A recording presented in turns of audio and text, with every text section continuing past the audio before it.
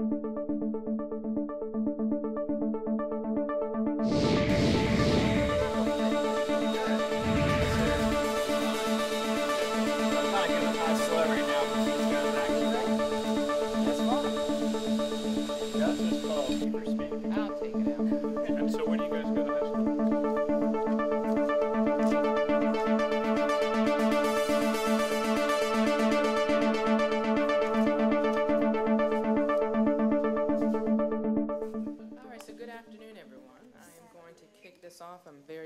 to be here with all of you, and particularly our governor, Martin O'Malley, and the senator, uh, Senator Verna Jones Rodwell, and uh, members of my team, my administration, as well as the governor's team. I want to thank Mark for hosting this event and being a valuable partner as we strive to grow Baltimore together. I also want to thank the members of the delegation, which uh, the senator is representing, the, uh, the delegation in the Maryland General Assembly for making today possible. It's exciting to be here to talk to you about funding for workforce training. That's why I'm so glad to have Karen Sitnick here from the Mayor's Office of Employment Development, something that is so crucial for our city. Creating opportunities like this is essential in achieving our goal of growing Baltimore by 10,000 families over the next decade, EARN will help provide job training for local residents, giving them an advantage when it comes to competing for good jobs that lead to stable careers. I frequently hear from businesses about the need for training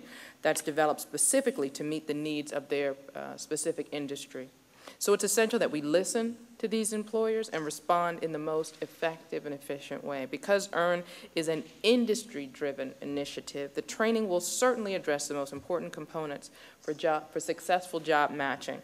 You can be assured that Baltimore City will apply for funding through EARN to give our local job seekers every opportunity to improve their qualification for jobs in a variety of industries, including manufacturing. I had a great time uh, Governor, we were hosting uh, a manufacturing conference and had students there, and they did, they showed me your 3D um, face. The, not that 3D face, but the, the one that they created, the computer generated, and they, they told me that you were so eager to do it that I had to do it as well, so, Did you get a 3D face? yeah. All right. But I think it's different for guys. But, um, so it just, the spark that you could see uh, that there's a, the, the students are excited about the opportunities for manufacturing and uh, the employers in the region know that this, that this region, Baltimore City and the state of Maryland, is ripe for talent uh, for the manufacturing industry. So we know that manufacturing, like many other industries, requires a specific set of skills, uh, different uh, from what was needed a few years ago, and Mark would probably tell you a few months ago. We can't afford to leave positions unfilled due, uh, due to an unprepared workforce. At the same time, residents deserve an opportunity to be trained for jobs of today and jobs of the future, and EARN is a significant part of meeting that obje objective. It's a great example of how government and industry can work together to, towards a mutually beneficial result. Baltimore City is ready to provide these opportunities through innovative state funding. As illustrated by EARN, we know that businesses have a stake in developing the new workforce to meet their needs. So I want to thank Governor O'Malley for his advocacy on the workforce development through this important bill. I appreciate the opportunity to speak to you, and I before I leave, say thank you very much, Governor, for being a leader in job creation Thank you, Mayor. in, in this state and in the, in the nation, and I'm looking forward to creating more of those jobs right here in Baltimore. Good, Thank good you. Mayor. Thank you very much.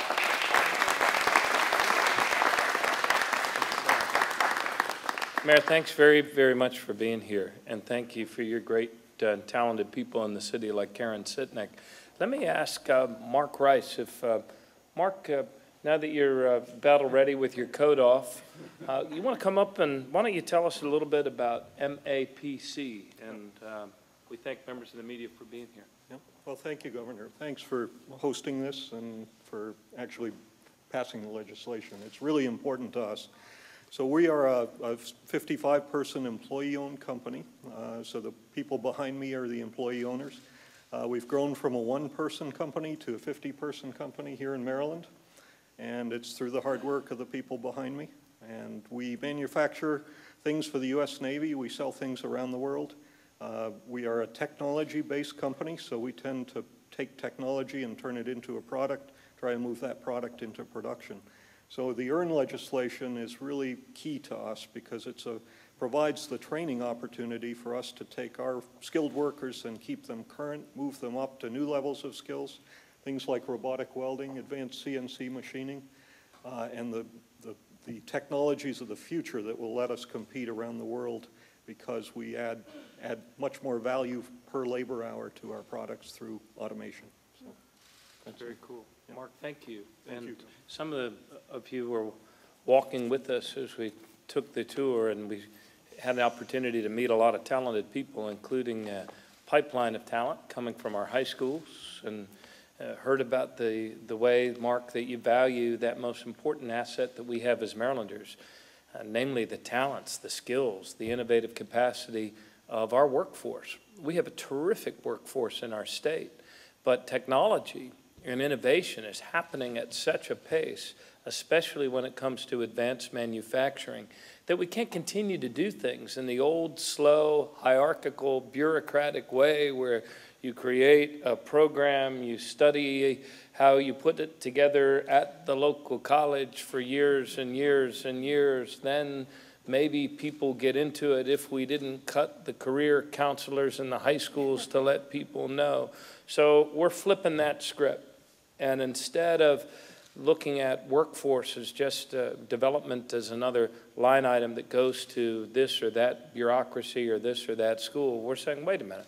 If it's happening so quickly, and if there are people in this field that are already doing it, and if the employers who are looking for talented and skilled people know what skills they have most in demand, then why don't we let our workforce efforts be driven by the sector that has the jobs to fill? So that's why this EARN bill is pretty new for us as a state, but it is the wave of the future when it comes to workforce development. Staying inside the turning radius, if you will, of the new technologies and the new skills allows us then to create near these centers of innovation uh, that uh, abound here in our state. Allows us to create not only um, you know the new ideas, but the new products. And with those new products, the ability to make things, the robotics uh, revolution that is sweeping our country, it's really an opportunity. If we can stay up on the, the skills and move faster than uh, our competitors, then our people will get better jobs. Our people will unlock the capacity for employers to create even more jobs and to do that here rather than someplace else. So the efforts that we have been uh, driving towards, uh, innovation and security, innovation and sustainability, innovations in how, and innovations in how we deliver better and higher and more market relevant skills to our people. These are all of the things that build an innovation economy in our state. U.S. Chamber of Commerce named Maryland number one state in America for two years in a row in innovation and entrepreneurship. And you see it here at MAPC. You see it here in the talents of this workforce, and you see it in the potential of this EARN bill. Uh, a lot of times things start small to get them in the budget, but then, uh, but then we hope with uh, uh, further uh, leadership and driven by the private sector that we're going to be able to do more and more to allocate these dollars with great workforce development offices like the one that Karen Sitnick runs here in the city of Baltimore to create more jobs and more opportunity. The big challenge of our time is how we expand middle-class opportunity to more people. Uh, it won't happen by itself. It's only going to happen through innovations in what we make and also in the skills required to make those things. So with that, let me turn it over to uh, uh, Secretary um, Leonard Howie, who is our Secretary of Labor. We also call him the Secretary of Labor Licensing and Regulation, but those are a lot of words. We should retitle you. We should call you, this is, Leonard is the Secretary of Highly Skilled Labor. There, there we go. Good afternoon, everyone. Um, This is a great day. Uh, As the governor said, the Department of Labor Licensing and Regulation um, is the agency charged with implementing EARN.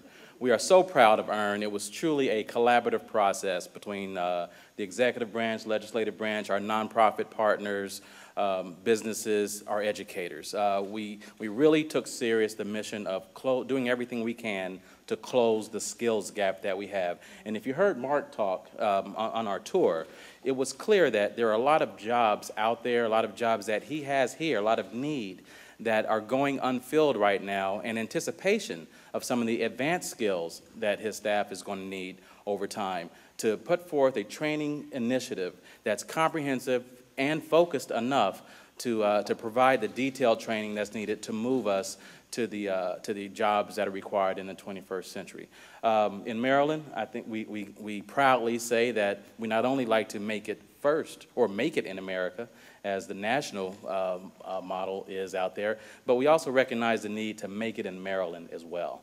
And initiatives like EARN um, uh, really put the uh, really put the juice behind a lot of our our efforts, a lot of our actions to ensure that we have the training, uh, the the the workforce that we need to move forward. Now, as the months go on, uh, we will have uh, far more detail coming out about EARN and and how one applies for it. But just real briefly, at its core, it's a strategic model that requires the formation of partnerships. And again, I'll go back to what Mark said. He, he acknowledged that um, he, he has the people in the pipeline, but he needs training partners. He needs some funding partners. He needs partners to get out there and promote all the great work that is being done. And what EARN does, it, it requires, it, it supports the creation of these industry-based partnerships to uh, go out and, and develop the employees to ensure that they have the skill sets that are needed to really advance the work of, of, our, of our economy. So again, as we look forward to, uh, to continue to implementing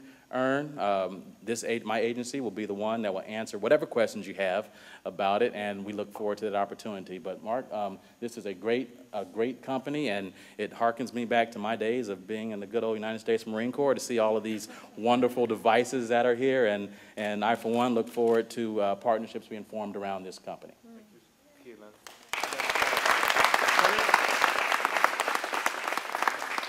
Well, good afternoon. I, I would like to thank the governor, and I'd like to thank you for providing this opportunity um, for us to come here to really see what our hard efforts are about.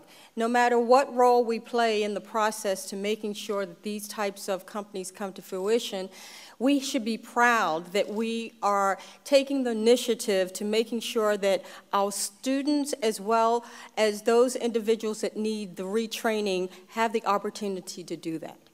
And I am very proud to have voted on the bill and to have been part of making it, it, it a success on the legislative side. So thank you. Um, thank you for making this possible, and thank all of you for being here and doing the part that you do.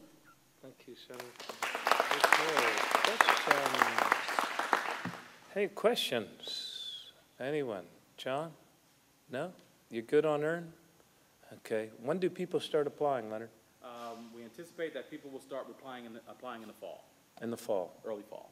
So the, and the training, and you're flexible whether the training's done at a community college or whether, it's- or at an industrial school or As you said, Governor, on-site? as you said, this is truly industry-led. So if, if the training pipeline for a particular company or a group of companies is based in, in the um, two-year institutions, great. If it's the four-year institutions, no problem. If it's a private uh, sector training institution, no problem. So whatever, wherever they can find uh, the, the training curriculum and the, and the instructors to, uh, to communicate what's needed for that workforce, uh, we, we will be all ears for that. Cool, great. Well, ladies and gentlemen, Thanks for letting us interrupt your day. Thank you. Thanks for the cool stuff you do, too. Thank you. Thanks.